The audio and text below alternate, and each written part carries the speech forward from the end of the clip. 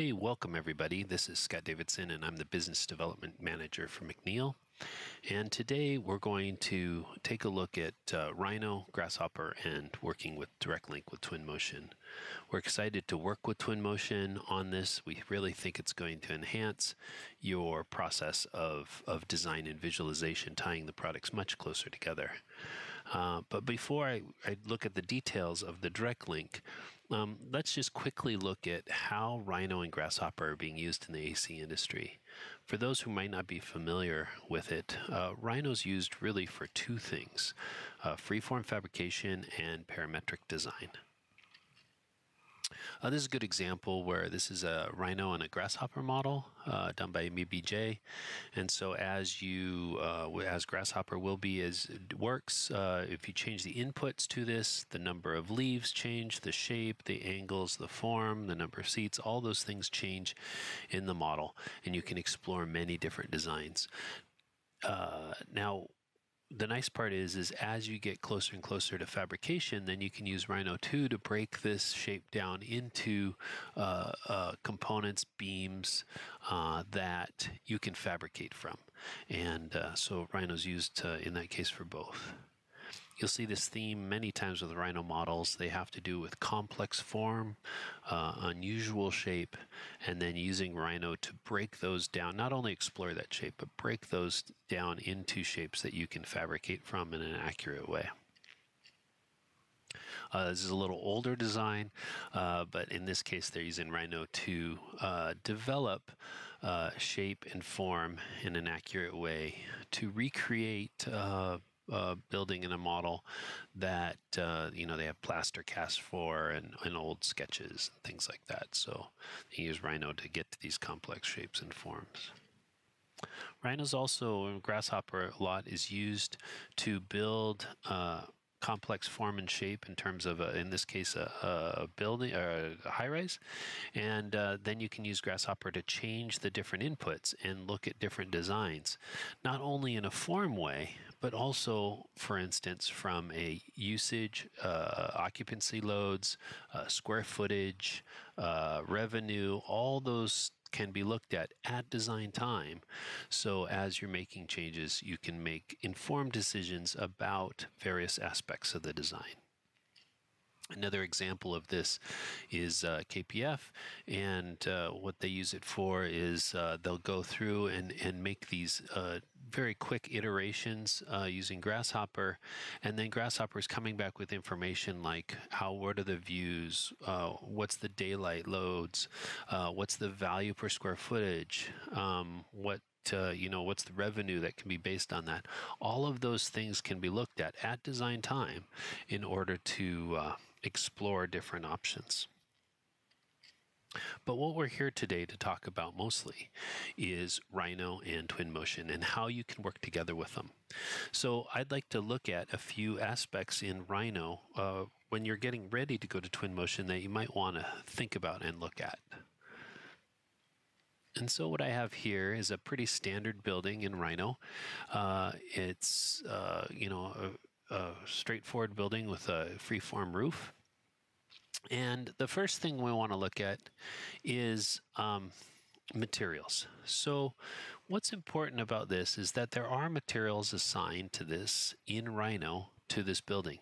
And I can just quickly jump in here to the rendered view. And you can see we have different materials uh, and, uh, you know, glass and things. What's important to Twinmotion isn't necessarily the properties of these materials. What's important is the name. And so in this case, I've assigned these materials by layer. And so those names will be replaced when they go to Twinmotion with Twinmotion materials. And so you can use Twinmotion's advanced uh, materials to populate this scheme so that you can, when Martin gets to looking at it, get to a much more advanced uh, uh, rendering that you can work on. Now, another thing that we can, uh, it's important to understand is that the environment that we're in in Rhino doesn't really matter. Um, Twinmotion is going to have its own environment, so don't worry about sun and, and the environment and things like that. You'll let Twinmotion take care of that.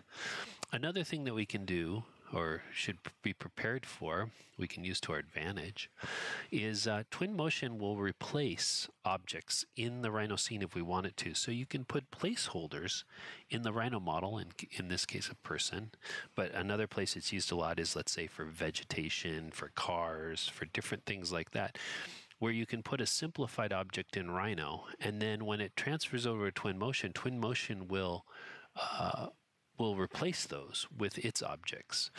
And Twinmotion has a lot of um, ways of optimizing a model for rendering and for walking around it and for VR.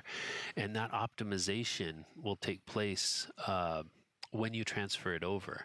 It uh, makes it a lot faster, makes it a lot easier to walk around it, and makes it a lot easier to have a much more complex model and keep your performance up. Mainly using to uh, mainly used uh, looked or yeah, mainly because of its gaming engine background, and uh, and so that's something that that that this direct link will do automatically. I think it's important to note a little bit that that if you're going to do uh, glass, you want to do a single pane of glass uh, in Rhino, and uh, Twinmotion can take care of that for you, or you know, use that as their glass. Um, and it's not really the Twinmotion isn't going to be as sensitive to detail as as Rhino is in terms of of uh, the model, and I think that's somewhere where some place where the, the the the swapping of objects, the replacing of items, is really going to help. So those are a couple things to look at when or think about when you're getting ready to go to Twinmotion. And I'm going to have uh, Martin now take over this, and he can show you uh, the details and the process within Twinmotion to make this rendering final. Hi everyone. Thank you, Scott, for the introduction. Uh, my name is Martin. I've been working on the Twinmotion team for around seven years now. I will be your host for this Twinmotion presentation today. Um, so the idea is that I will import this file inside Twinmotion um, and just create a couple of image, just showing you the some tips and tricks and how to use Twinmotion from a blank project. So after you imported the file until a final render. So first off, when you want to synchronize your Rhino file inside Twinmotion, you will need to download the Direct Link plugin.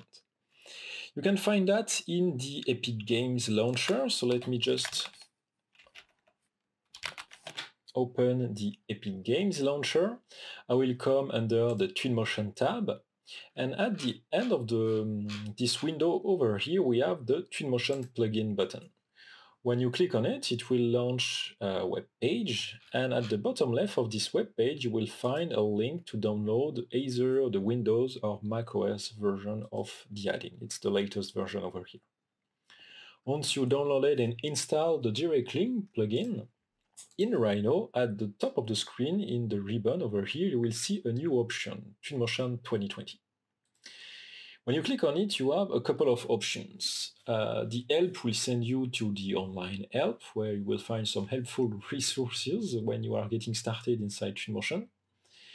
In the option, we have some interesting stuff. So actually, the most important thing is the merge option. By default, we merge by materials when you import a project inside Twinmotion. That means that, for example, in this project, if all the worlds are sharing the same material, all my world will be collapsed as one big object. So it's really a matter of performances. Um, Twinmotion can handle millions of polygons, but not millions of separate objects.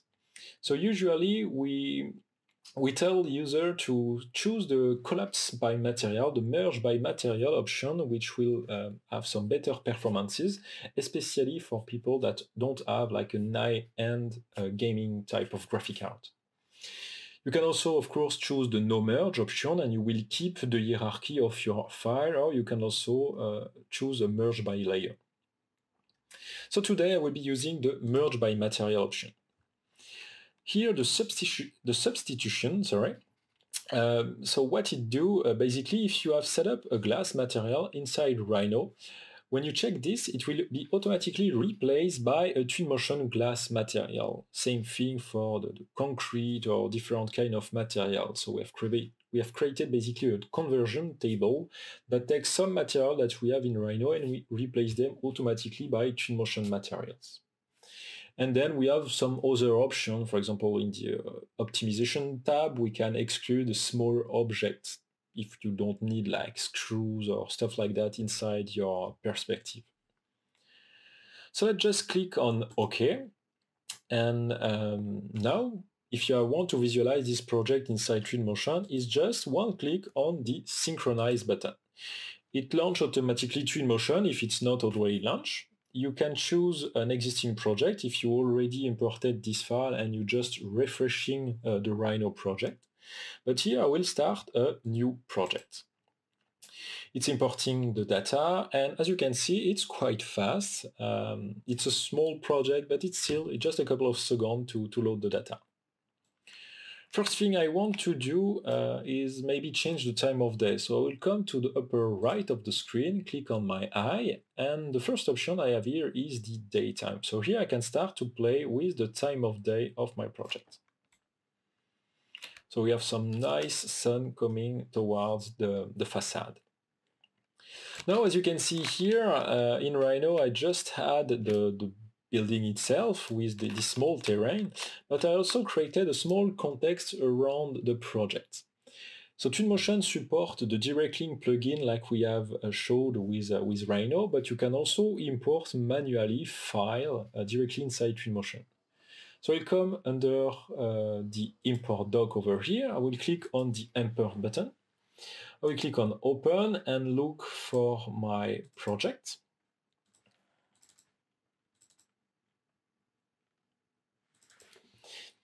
And here I will import my uh, context. Uh, don't need to check the option right now. Just click on OK. And here I just imported my file. As you can see here, uh, while I was using the DirectLink plugin, some of the material has been replaced by Twinmotion materials. But here, through the FBX, uh, I just added a basic, mm, um, basic color on my geometry and I retrieve inside Twinmotion this basic color. So maybe it's time to add some materials to the project. Uh, comes with a native library of thousands of objects and material. You can find this library on the left over here. We'll click on the arrow to open the library. And we'll start with the materials library. Open the material library, we start with the ground, nature. If I want now to add a grass material to this green color, it's just a basic drag and drop from the library to my viewport. As simple as that. I want to have the same uh, color on my two terrain, on the imported terrain and on the terrain uh, that came through the DirectLink plugin. So I just selecting this grass material and I will add it to this mesh. So I don't even see uh, the separation between the two geometry. I can add a couple of more material to my project. Uh, let's start by the roof. I will come to the metal folder and I will just drag the brushed aluminium like that. Here on the wall we have a concrete that has automatically been replaced with these uh, nice tiles that have some parallax, but it's not the look I want for my project. Uh, let me actually add some metals to the mullions. I will come back now and enter the concrete folder and I will just drag a concrete materials to my facade like that. Same thing on the inside, I can come here, drag and drop that. We can add some polished concrete on the roof, on the, on the floor as well. And when you add um, materials to um, your project, it's automatically selected in the dock that we have at the bottom of the screen. The dock is basically where you will find all the options, the tools and the settings. And here my polished concrete is still selected, so I have a few options regarding these specific materials. So for example, I can click on the color tab here and I can change the color of my material, making it darker or lighter. I can also change the reflection, making it completely rough or completely reflective. Can even change the scale of it.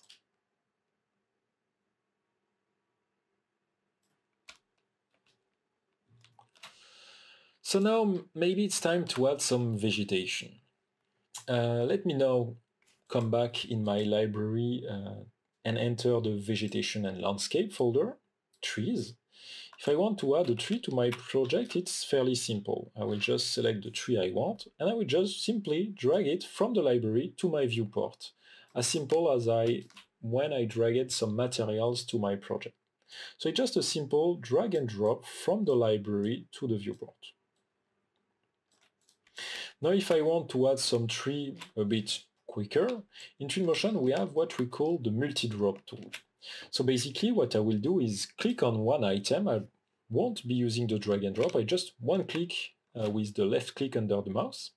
And now the object, the tree is under my mouse. And now at each time I will click in the viewport, Twinmotion will add this object to my project. Since it's a tree, it will take a random rotation, a random scale, and a slight color variation, so hopefully you won't see any repetition, like we have here. So using the multi-drop tool, as you can see, you can quickly vegetalize, quickly add some tree to your project. You can also do that with a multi-selection. So for example, I will select one tree in my library, and holding the Control key, I will select two other trees. All those three now are under my mouse, and Twinmotion will randomly select one of them and add it to the project at each time I will click inside my project. So again, I will just click, a couple of times, and as you can see, it's completely randomized. So it's a quick way to add some vegetation. Still, my project is quite big, especially the, the terrain surrounding it. Uh, so if I want to add some vegetation quicker in Twinmotion, we have two different tools. Let's enter the context dock. Here is the two tools. We have the vegetation paint tool and the vegetation scatter tool. Let's start with the vegetation paint tool. Here we've just opened this dock. We have a drop box here where you need to drop some trees. So I will start by dropping, for example, the London plane and some oak like the, this one over here. Now I will select my brush and I can now start to paint my tree directly on my terrain. As simple as that. I can use a bigger brush, so by default it's 10 meter, but you can have a really bigger brush to paint tree a bit quicker. If you think that we have a bit more density, you can come back to the density. So I can select the tree. For example, let's select two, those two trees, and here I will check and change the density on the fly.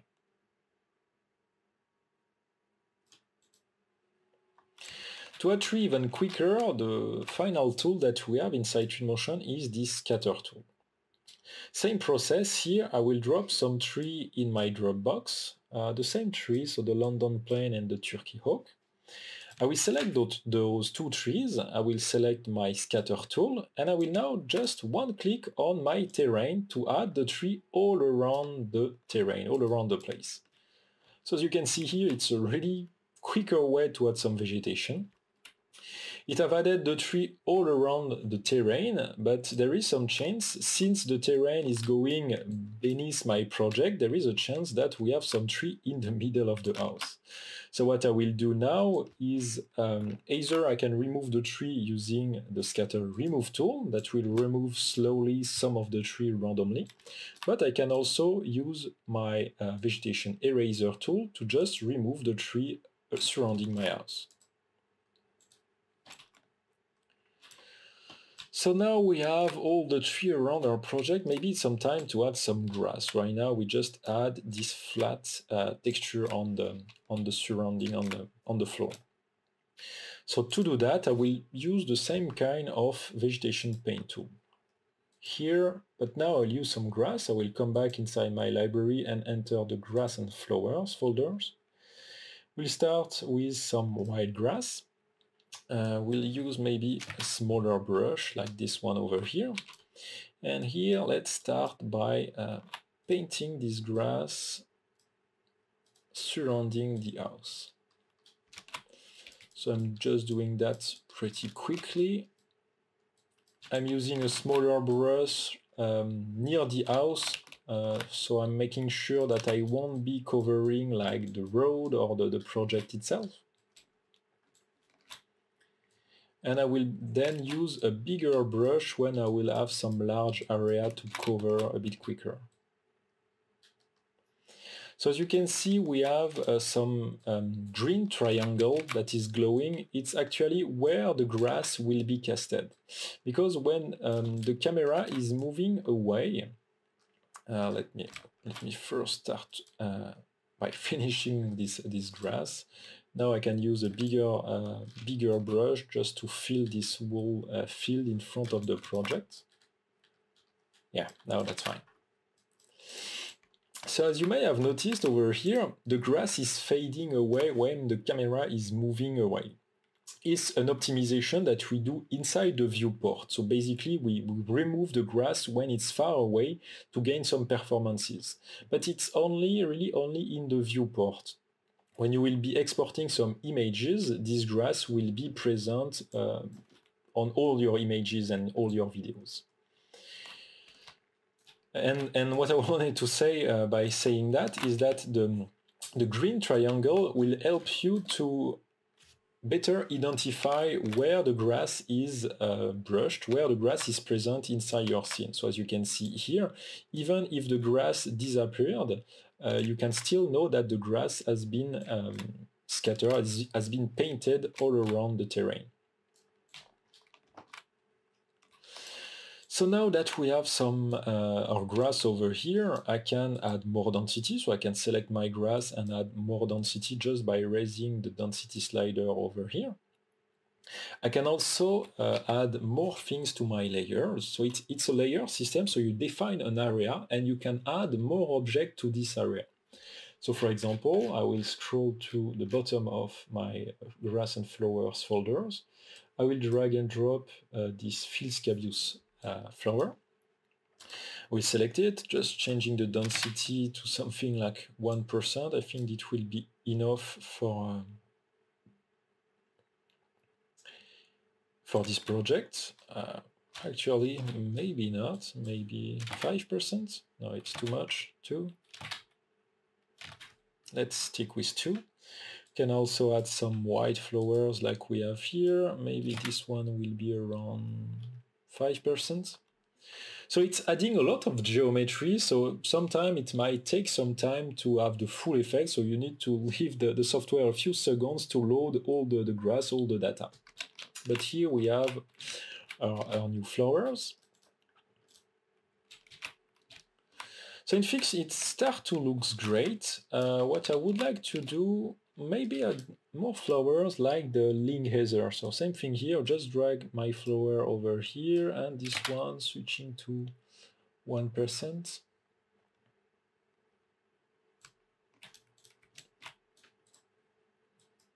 Also, at each time you go under 0% and come back to 1%, it randomizes the placement of um, the, the vegetation. So if you don't like how the vegetation is placed, you can switch to 0% and come back to 1 or 2 and the placement of the, the vegetation, either grass, bush or trees, will be uh, resetted. So um, start to like that. Uh, maybe there is two more of this one, so maybe I will just remove this uh. Maybe it's time to um, create a camera. So we come to the media dock enter the image, I will click on the big plus button to create a new image. Um, I like to work with a more cinematic camera, so what I will do is enter the more, enter the option of this specific image, come to the camera settings, and here will just switch uh, to a 50 millimeter focal to have something a bit, bit more cinematic. Uh, let's come somewhere where we have some nice uh, lighting under the grass, like that. So here I just come back to my image and update the point of view, like here. In this specific image, I can also change a bit the time of day, so we have a better sunset, or actually it's, it's in the morning, but we have a better lighting on the project.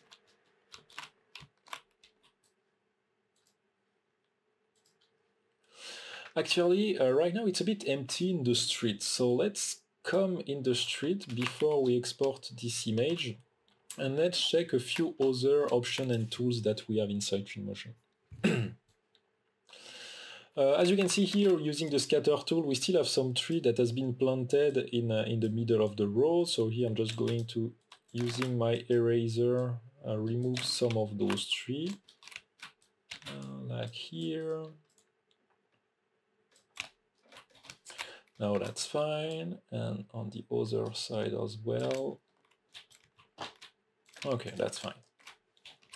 So first thing is adding some vehicles. I will come back again in my library, enter the vehicles folder, cars. If I want to add one car to my project, it's just a basic drag and drop from my library to my viewport. Here using the gizmo, I can change the orientation of my vehicle, so making sure it's placed correctly um, in the direction of my road. Now in my modeling tool, I place some box at each um, position where I want a car to be placed. I place some basic box, basic dummy, uh, because I want to show you uh, uh, tools that we have inside Twinmotion. So I exported all my box as an FBX file. And now I will import my uh, dummy cars.fbx in the option, I will just check the keep hierarchy option. If I leave the collapse by material option, what basically will happen is that all my box, since they have all the same material, all my box will be collapsed as one object, and I don't want that. I've placed correctly my box in my project, and I want to retrieve the correct pivot point of all those boxes. So we'll switch to the keep hierarchy option, and I will click on OK to import my box. As you can see here, all my box has been imported uh, in, my, in my project, and the pivot point is correctly placed at the center of this box. So now what I will do is open the scene graph, which is this panel on the right. It's basically a layer system similar to Photoshop. Here we have the layer, um, the add-in layer, which is the project we imported from Rhino. Here we have the layer which is the context, the .fbx we imported. Then we have all the vegetation assets we have added to the project. And finally, at the end, we have even the different uh, paint and scatter uh, layer that we have created. Here, what I want to have a look at is the new dummy cars.fbx file that I just imported. As you can see here, I have all my boxes. What I would like to do with all those boxes is replace them all at once by some Twinmotion vehicles.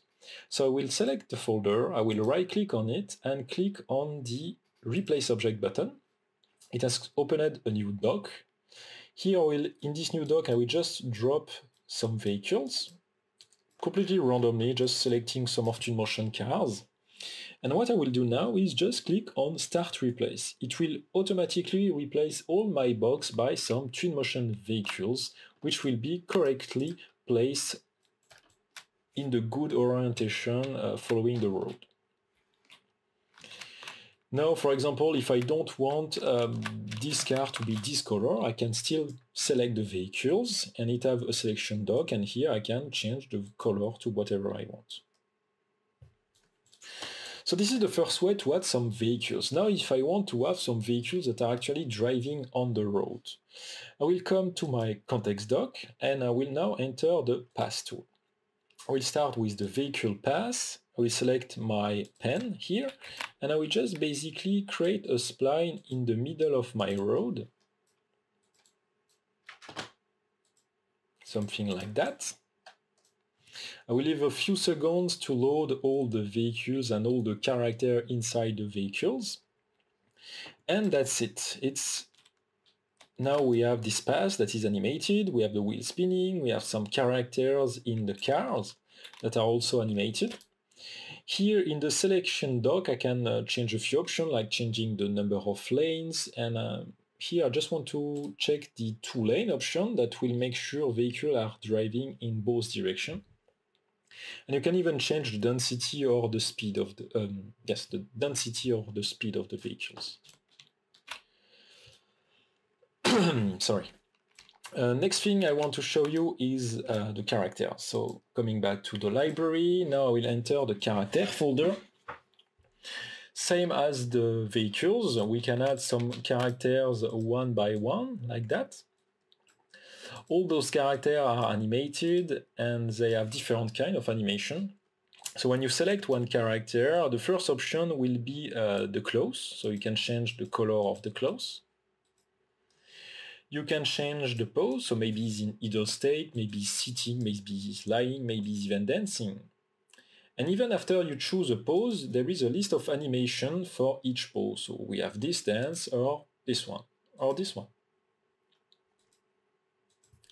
So you can add characters one by one like that, but we also have some groups. So for example, if I select this group of three people, at each time I will click, Twinmotion will randomize the three characters that are added to the project. So it's a quicker way to add some uh, life to your project.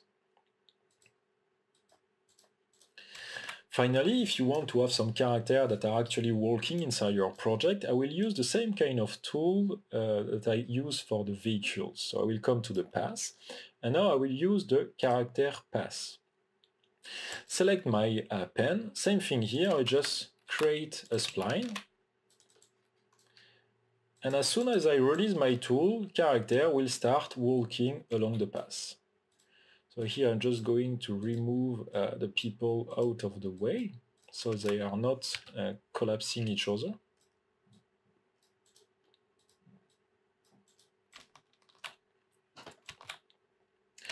So as you can see here, we have some characters walking. We can change the width of the path. We can change the density of people on it. So it's really a quick way to add some life all around your project.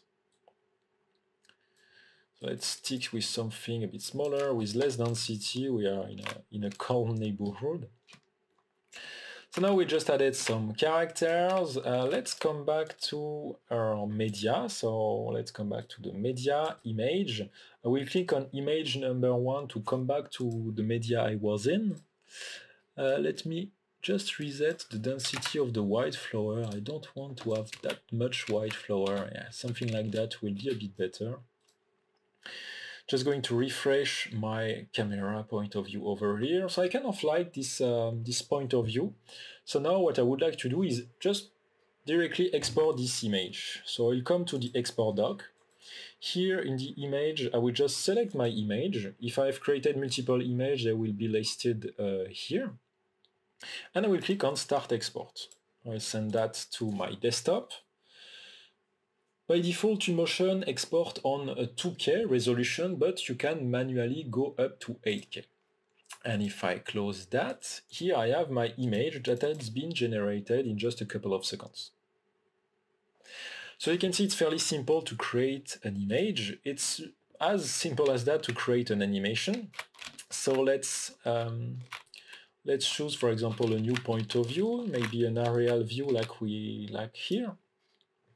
Instead now of going to the image dock, I will come to the video dock. I will click on the big plus button to create a new video. And this is the starting keyframe, the starting point of view. So now what I need to do is move in the project and click on this small plus over here. So I just move inside my project, click on the small plus, and Twinmotion automatically creates the animation between the two different keyframes. So here I am in my movie number one, in my part number one. Now if I want to create a second camera with another point of view, we just need to move inside my project. You can come something like here. And now I will use this plus over here to create a new video part. Same thing here, I just move inside my viewport. I will click on this small plus to create a second keyframe in this specific part. And now I can start to visualize my whole video, which contain right now two different parts. We have this uh, aerial view like here, and then now it will switch to the second point of view over here. So it's fairly simple to create an animation inside Twinmotion. Of course, you can create any number of keyframes. So if I come to back to this one, we can have this kind of drone view that is uh, going all around the project. I can pre-visualize the camera path just by dragging this uh, pink line over here.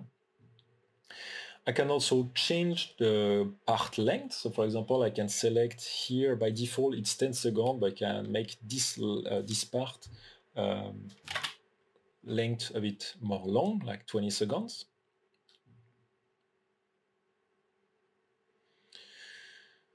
So as you can see, it's fairly simple to create an animation. Uh, finally, just a couple of things I wanted to do in this specific shot is just to add a bit more life inside my interior. So I will keep the media mode. I will come uh, toward my project. First thing is a bit how to enhance the um, reflection inside Twinmotion. So I will use what we call the reflection probe. So basically what it does, it captures an image on the surrounding of your project, like we have here on the, the forest on the back, and it will apply this image onto my glazing. So it's give a nice reflection like here. I will also a bit lower the opacity of the glass so you can see a bit better inside the project. And I will just come inside and start to add some interior furniture to my project. It's really quick just to show you the kind of object that we have inside Twinmotion. So I'll come to the object folder. Here it's divided by type. So we have the home, which is the interior type of furniture. Then we have in the city everything from benches to bollard to street light. So today I will check the interior furniture. We can start with the table. So here we can add a table uh, inside my living room over here. In the decoration, we can have some framing on the wall over here. Uh, let's add, for example, a shelf on this side over here. Here I can switch to the scale tool if I want my shelf, for example, to fit uh, my, my, uh, my wall to be a bit bigger. Uh, let's add some plants on the um, on the corner over here. So we are just adding, maybe not this one. This one is a bit too small. Um, like this one, this one, maybe this one. Also here, what I would like to do is uh, have some kind of cabinet. So I know that we have that inside the bedroom storage. I kind of like the, the basic one over here, but obviously I don't want all the, the, the, the bedroom props that is on top. So what I will do is uh, through my scene graph, I will just select all the items that are on top of my, my uh, shelf, just remove them. Then I will just place correctly uh, my shelf, duplicate it to have a bigger shelf, something like that placing that against my wall. And to make sure uh, that it fit my, my interior, what I will do is using the material picker tool, I will select this wood material and I will apply this wood material on my two shelf to make sure that is belonging to the same kind of living room. I can also do that with my uh, my shelf over here. So it's it's kind of good. We can also, if I want, for example, add some uh, like like adding a sofa on the corner over here. We can have some kind of uh, carpet on the on the floor over here. I'm doing that pretty quickly just to give you an idea of the possibility inside Twinmotion at the end also if you have some question regarding the usage, the furniture, don't hesitate to ask all the questions that you can have uh, just uh, at the end after the after we end this presentation. So just a final touch will be maybe adding like yeah, a small a small table like here. So here I'm just adding some props just so in my image uh, we can see some stuff going inside the project. It's not like completely empty. So here I just took a couple of minutes to populate my living room. I won't bother you with uh, giving life to all the other room but you get the idea. Twinmotion is filled with plenty of objects to, to start giving life to your project. So don't hesitate to have a look at all the different objects that we have inside the library and if you don't find the object that you need, Twinmotion also have what we call the user library. So basically uh, how it works, so you import, you can import uh, any kind of object. Uh, Twinmotion support plenty of different file formats like FBX, SKP, OBJ, C4D, and, and some other. So you can import any kind of object uh, through the regular import process. And then this object, you can save it under your user library and you can then use any object from the user library and just adding to the project. So for example, here, I've been uh, creating this chair in, uh, in my uh, in 3ds Max, and I just imported this chair from my user from 3ds Max as an FBX file, and I just saved this chair in my user library so I can use it for every future project. So you can really create your own hierarchy of your of object directly inside uh, Twinmotion and have its. You can also have this user library share around your network, so you can uh, work with your colleague on the same library. So I think we have we are reaching the end of this presentation. Um, thanks everyone for watching we didn't cover all the features uh, presented inside Twinmotion. It was really to give you a, a first, a quick tour um, about what is Twinmotion, the, the capabilities, and how you can uh, have some fast results working inside Twinmotion. So here in just like 30 minutes, I've created this, this scene.